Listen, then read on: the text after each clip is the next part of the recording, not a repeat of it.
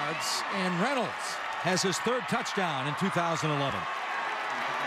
Tom Herman, the offensive coordinator, dialing up a play in the back of the playbook. Just a great job of getting the ball off by Josh Lenz. This is under pressure. Josh Lenz gets the football. Watch him try to set his feet and turn and throw the football. He knows he only has to get it close to Darius Reynolds because nobody is around the playmaking receiver. Josh Lenz does a terrific job getting the football out on the reverse to Darius Reynolds. You can feel the momentum on the Cyclone side.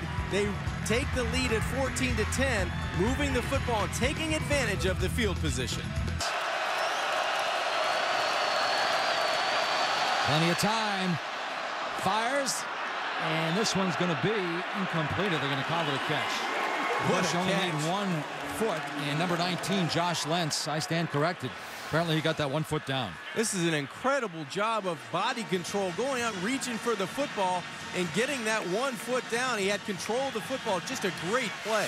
What a play. This one goes 20 yards. And again, the Cyclones in the fourth quarter have come back to take the lead. We've seen playmakers on both sides of the football. Josh Lenz sets up this play by the, the ultimate playmaker, Darius Reynolds, on the outside. Steele Jantz had plenty of time to set his feet, find a wide open underneath coverage in Darius Reynolds. Look at the leap at the 10-yard line. He goes up and over two defensive backs.